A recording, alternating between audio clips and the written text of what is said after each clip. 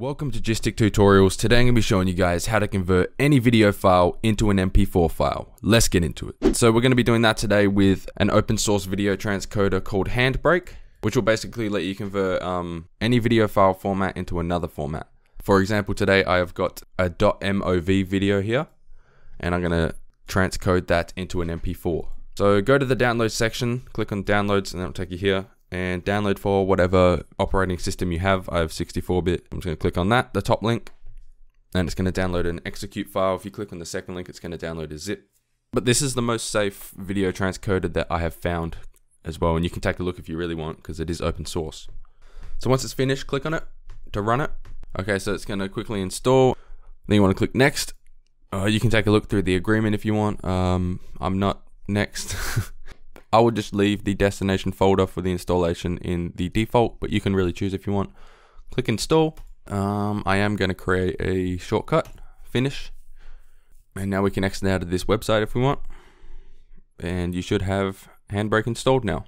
So go ahead and run it. If you get this message, just say yes, you would like to download it now. You need it to run the program. So we're going to run desktop apps. That is what we are downloading. So I'm going to download the 64-bit version. Um, if it doesn't start, just press click here to download manually. Okay, so after it's downloaded, you just want to run it real quick.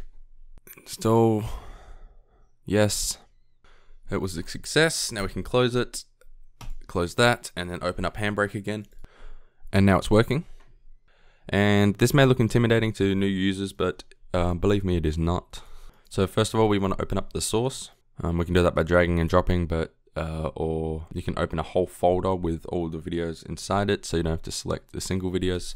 But I've got a single one so I'm going to select open a single video file and now this video is queued up.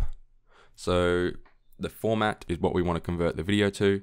I want to convert it to MP4 at the highest quality.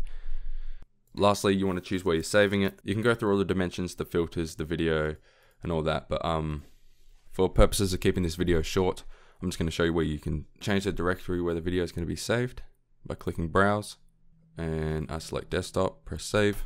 So make sure when you're ready to encode, it says .mp4 at the bottom here and then press start encode.